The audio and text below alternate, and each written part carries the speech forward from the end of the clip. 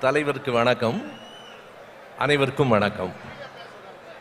இதற்கு முன்பும் நான் பலமுறை சேலத்துக்கு வந்திருக்கிறேன். அப்போதெல்லாம் சேலத்தில் இருக்கிற நண்பர்களையே முழுமையாக பார்க்க முடிவதில்லை. ஆனால் இன்றைக்கு சேலத்தில் தமிழ்நாட்டையே பார்க்கிற வாய்ப்பு கிடைத்திருக்கிறது. தமிழ்நாட்டை மட்டுமில்லை இந்த தமிழ்நாட்டின் மூலம் நாளைக்கு அமையப் போகிற இந்தியாவையும் பார்க்கிற வாய்ப்பு கிடைத்திருக்கிறது. அந்த நாளைய இந்தியா மாநில சுயாட்சியை கொண்ட இந்தியாவாக இருக்க வேண்டும் என்பதுதான் இந்த மாநாட்டின் நோக்கம். இந்த மாநாட்டின் மைய பொருள் அதுதான் மாநில சுயாட்சி மீட்பு. எனவே அந்த மைய பொருளை எனக்கு பேசு பொருளாக தந்திருக்கிற இளைஞரணி செயலாளர் அவர்களுக்கு நன்றி. இது எனக்கு கிடைத்திருக்கிற பெருமை. ஆனாலும் பத்து நிமிடங்களில் பேச வேண்டும் என்பது கொஞ்சம் கொடுமைதான்.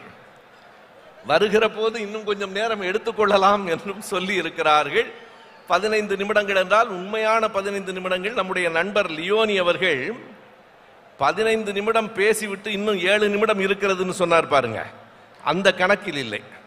அது என்ன கணக்கு என்றும் தெரியவில்லை. அந்த கடிகாரம் எந்த ஊரில் வாங்கினார் என்றும் தெரியவில்லை. நண்பர்களே இந்த மாநாட்டின் மைய இலக்கு மாநில சுயாட்சி என்பதால் அதுதான் திராவிட இயக்கத்தின் அடிப்படை இறுதி இலக்கு என்று நான் சொல்ல மாட்டேன். திராவிட இயக்கத்தினுடைய இறுதி இலக்கு எப்போதும் சமூக நீதியிலான சமத்துவம் என்பதுதான் நம்முடைய இலக்கு. எல்லா இடங்களிலும் சமத்துவம் பிறப்பின் அடிப்படையில் சமத்துவம் பால் இன சமத்துவம் மதங்களுக்கு இடையில் சமத்துவம் சாதிகள் அற்ற சமத்துவம் சாதிகளுக்குள் சமத்துவம் இல்லை. சாதிகள் அற்ற சமத்துவம். இதுதான் நம்முடைய நோக்கம். இந்த இடத்துல எனக்கு சொல்ல வேண்டும் என்று தோன்றுகிறது. இளைஞரணி செயலாளர் அவர்களின் கவனத்திற்காக நான் சொல்லுகிறேன்.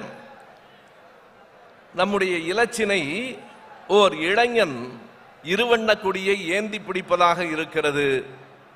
மாற்றலாமா என்று சிந்தியுங்கள். ஒரு பெண்ணும் ஆணும் சேர்ந்து இருவண்ண கொடியை உயர்த்தி பிடிப்பதுதான் நம்முடைய திராவிட இயக்க கொள்கையின் சமத்துவத்திற்கு ஏற்றதாக இருக்கும். இப்போது அடுத்த கேள்வி சமத்துவம் தான் நம்முடைய இலக்கு என்று சொன்னால் ஏன் மாநில சுயாட்சியை கோருகிறோம்?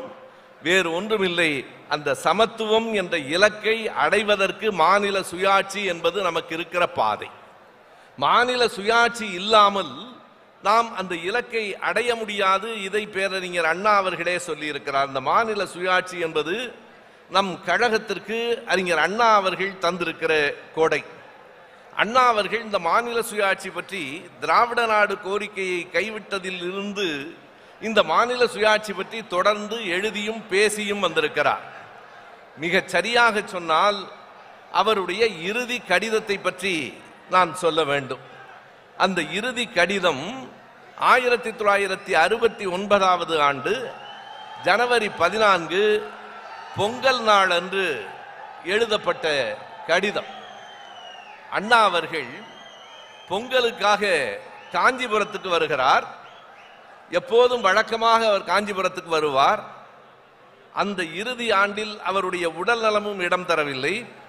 ஒரு முக்கியமான கடிதத்தையும் எழுதி கொண்டிருக்கிறேன் என்று அவர் சொல்லுகிறார்.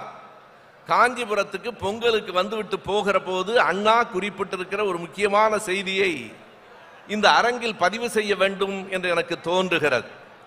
அறிஞர் அண்ணா அவர்கள் புறப்படுகிற போது தன்னுடைய ஓட்டுநரிடம் நேராக சென்னைக்கு போ என்று சொல்லாமல் தான் படித்த பச்சையப்பன் பள்ளிக்கும் கல்லூரிக்கும் போக சொல்லுகிறார் அவர் படித்த பள்ளி அங்கே இருக்கிறது.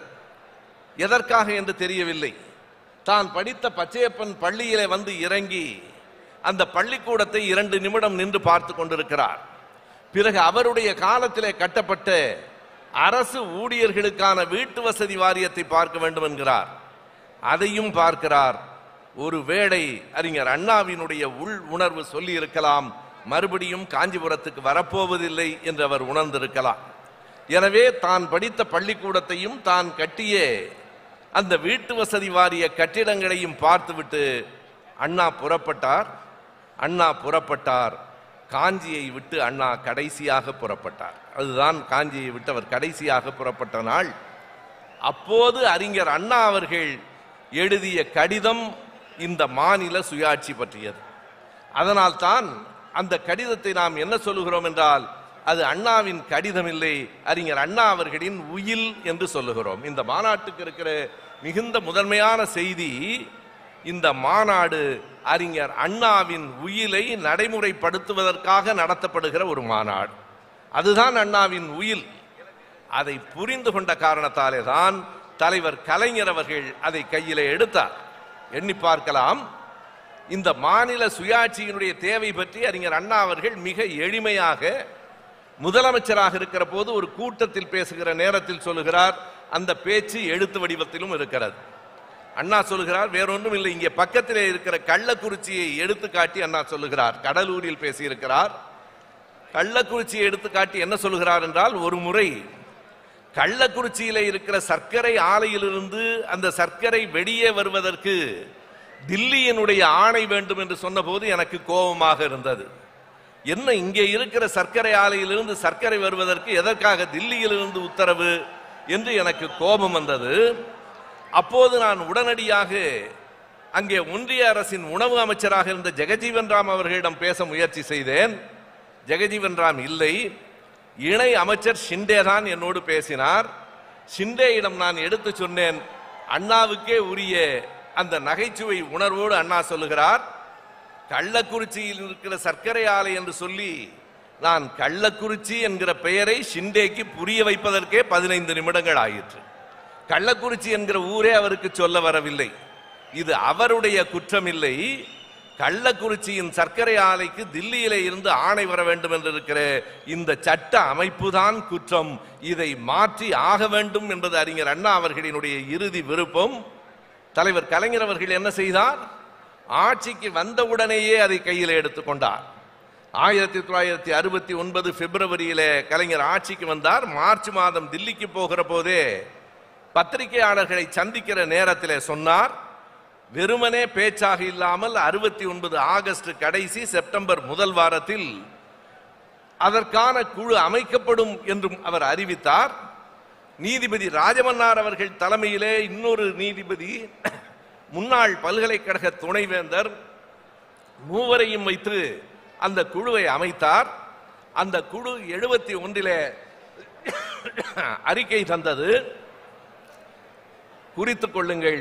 நம்முடைய வரலாற்றில் மிக முக்கியமான நாள் ஆயிரத்தி தொள்ளாயிரத்தி எழுபத்தி நான்கு ஏப்ரல் மாதம் பதினாறாம் தேதி தமிழ்நாடு சட்டமன்றத்தில் மாநில சுயாட்சிக்காக தீர்மானம் நிறைவேற்றப்பட்டது. இந்தியாவிலேயே மாநில சுயாட்சிக்காக முதல் முதலில் தீர்மானம் நிறைவேற்றப்பட்ட மாநிலம் தமிழ்நாடு தான். அதை செய்தவர் நம்முடைய தலைவர் கலைஞர் அவர்கள் தான். மிக நுட்பமான ஒரு செய்தி என்ன இருக்கிறது என்றால் அந்த நீதிபதி ராஜமன்னார் குழுவிலே தலைமை அமைக்கப்பட்ட அந்த நேரத்தில் அவர்கள் எது குறித்து ஆய்வு செய்ய வேண்டும் என்பதை நான்கு கூறுகளாக கலைஞர் அவர்களிடத்திலே வைத்தார். இதை ஒவ்வொருவரும் திமுக கழக தொண்டர்கள் நாம் அறிந்து கொள்ள வேண்டும். நான்கு செய்திகளை ஆராய வேண்டும் என்றார் மத்திய மாநில அரசுகளின் உறவு பற்றி ஆராயுங்கள் என்று சொல்லவில்லை. நாம் அறிவோம் இந்திய அரசமைப்பு சட்டப்படி மூன்று பட்டியல்கள் இருக்கின்றன. ஒன்று ஒன்றிய அரசின் பட்டியல் இன்னொன்று மாநில அரசின் பட்டியல் மூன்றாவது ஒத்திசைவு பட்டியல் கன்கரண்ட் லிஸ்ட் என்று மூன்று பட்டியல்கள் இருக்கின்றன. கலைஞர் சொன்னார் நான்கு செய்திகள் தான் எனக்கு தேவை. ஒன்றிய அரசு பட்டியலிலிருந்து எவற்றையெல்லாம் மாநில அரசு பட்டியலுக்கு கொண்டு வர வேண்டும்? ஒத்திசைவு பட்டியலிலிருந்து எவற்றையெல்லாம் மாநில அரசுக்கு கொண்டு வர வேண்டும்? மீதம் இருக்கிற ரெசிடுவல் பவர்ஸ் என்பதை எப்படி மாநில அரசின் பட்டியலுக்கு கொண்டு வர வேண்டும்? நான்காவது மிக முக்கியமானது. கலைஞர் சொன்னார் எந்த எந்த விதிகளை எல்லாம் நீக்க வேண்டும்? முன்னூற்றி ஐம்பத்தி ஆறு என்கிற பிரிவை வைத்து இந்தியாவில் ஏறத்தாழ நூற்றி முப்பது முறை ஆட்சி கலைக்கப்பட்டிருக்கிறது. கர்நாடகத்திலே பொம்மை அரசு கலைக்கப்பட்ட பிறகு உச்சநீதிமன்றத்தின் தீர்ப்புக்கு பிறகுதான் அது குறைந்திருக்கிறது. எனவே மத்திய அரசு பட்டியலில் இருந்து கொண்டு வர வேண்டியது ஒத்திசைவு பட்டியலில் இருந்து கொண்டு வர வேண்டியது மீதம் இருக்கிற அதிகாரங்களை தர வேண்டியது நீக்கப்பட வேண்டிய அந்த சட்ட விதிகள் என்கிற நான்கை அதுதான் டேர்ம்ஸ் ஆஃப் ரெஃபரன்ஸ் என்று சொல்லுவார்கள். அந்த நான்கையும் ஆராய்ச்சி செய்வதற்குத்தான் நீதிபதி ராஜமன்னார் குழு அமைக்கப்பட்டது என்று சொன்னால் தலைவர் கலைஞர் அவர்களினுடைய தொலைநோக்கு பார்வையை நான் எண்ணி பார்க்கிறேன். அவற்றையெல்லாம் எண்ணி பார்த்துத்தான் இந்த மாநாட்டை மாநில சுயாட்சி மீட்பு மாநாடாக நடத்த வேண்டும் என்று தலைவர் கருதி இருக்கக்கூடும் நம்முடைய இளைஞரணி செயலாளரை அவர் மாநாடு தான் நடத்த சொல்லியிருப்பார். ஆனால் இவரோ ஒரு படையே நடத்தி கொண்டிருக்கிறார். இந்த படைக்கு வேலை இருக்கிறது. இன்னும் மூன்று மாதங்கள் வரைக்கும் ஓயாமல் செய்ய வேண்டிய வேலை இருக்கிறது. நாம் சொல்லுவதெல்லாம் பிரிவினை இல்லை. நாம் சொல்லுவதெல்லாம் இந்திய ஒற்றுமைக்கு எதிரானதில்லை. இன்னும் சொன்னால் இதுதான் இந்திய ஒற்றுமையை சரியாக கட்டமைக்கும். அண்ணா அவர்கள் சொன்ன ஒரு எடுத்துக்காட்டையே நான் மறுபடியும் சொல்ல விரும்புகிறேன். இதோ இங்கே தூண்கள் இருக்கின்றன. இந்த தூண்கள் தான் மேற்கூரையை தாங்கி நிற்கின்றன. இந்தியாவில் இருக்கிற மாநிலங்கள் தூண்கள். இந்த தூண்கள் வலிமையாக இருந்தால்தான் ஒன்றிய அரசு என்கிற மேற்கூரை நன்றாக இருக்கும். இவர்கள் என்ன செய்கிறார்கள் என்றால் தூண்களை பலவீனப்படுத்திக் கொண்டே போகிறார்கள். மேற்கூரையில் சுமையை ஏற்றிக்கொண்டே போகிறார்கள். இந்த நிலை தூண்களுக்கு மட்டும் கேடு செய்யாது மேற்கூரைக்கும் சேர்த்தே கேடு செய்யும். ஆகவே மாநில சுயாட்சி என்பது தமிழ்நாட்டுக்கு மட்டுமல்ல மாநில சுயாட்சி என்பது இங்கே இருக்கிற இந்தியாவில் இருக்கிற எல்லா மாநிலங்களுக்கும் உரிமை பெற்று தருகிற போராட்டம் மாநில சுயாட்சி என்பது இந்திய ஒன்றிய அரசுக்கும் அவர் வேலையை மட்டும் பார்த்தால் போதும் என்று அந்த வேலையை சரியாக செய்வதற்கு உதவுகிற ஒரு போராட்டம். எண்ணி பாருங்கள். சின்ன சின்ன வேலைகள் எல்லாம் ஒன்றிய அரசின் வேலைகள் அல்ல. எட்டாம் வகுப்புக்கு என்ன பாடம் வைக்க வேண்டும் என்பதை சிந்திப்பதற்கு ஒன்றிய அரசு தேவையில்லை. யார் மக்களுக்கு அருகில் இருக்கிறார்களோ அவர்கள்தான் மக்களின் பிரச்சனையை அறிவார்கள். பக்கத்து வீடு தீப்பிடித்து எரிகிறதென்றால் இந்த குடிசையில் இருக்கிறவன் தான் ஓடுவானே தவிர ஏழு வீதிக்கு அந்த பக்கத்திலே மாடியிலே இருக்கிறவன் ஓடி வருவதற்குள் இந்த குடிசை எரிந்து போகும். எனவே மாநில சுயாட்சி என்பது நாம் ஒருவருக்கொருவர் உதவி வாழ்வதற்கு அரசுகள் தங்கள் பணியை சரியாக செய்வதற்கு உதவும் ஒன்றிய அரசு இவைகளெல்லாம் எடுத்துக்கொள்ளுமானால் சின்ன சின்ன வேலைகளையெல்லாம் தங்கள் கைகளிலே எடுத்துக்கொள்ளுமானால் சீனாக்காரன் உள்ளே வருகிற போது அவர்கள் ஏமாந்து போய்விடுவார்கள் என்பதுதான் உண்மை அதுதான் நடந்து கொண்டிருக்கிறது. எனவே இதற்கெல்லாம் என்ன மாற்று என்ன தீர்வு? ஒரே ஒரு தீர்வு தான் இருக்கிறது. அந்த தீர்வை நோக்கித்தான் நாம் கூடியிருக்கிறோம்.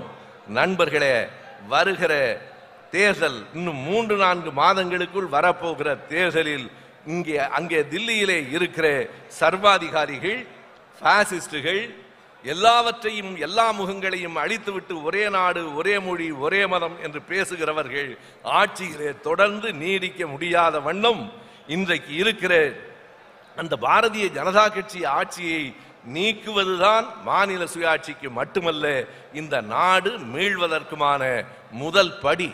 அதை செய்துவிட முடியுமா? ஏன் முடியாது? இரண்டாவது உலகப்போர் நடந்து கொண்டிருக்கிற போது உலகத்தின் பல நாடுகளும் என்ன நினைத்தன என்றால் ஹிட்லரை யாராலும் வீழ்த்த முடியாது என்று கருதினார்கள். வரலாறு என்ன சொல்லுகிறது நண்பர்களே? ஹிட்லரை ஸ்டாலின் தான் வீழ்த்தினார். ஹிட்லரை ஸ்டாலினால் மட்டும்தான் வீழ்த்த முடியும். நன்றி வணக்கம்.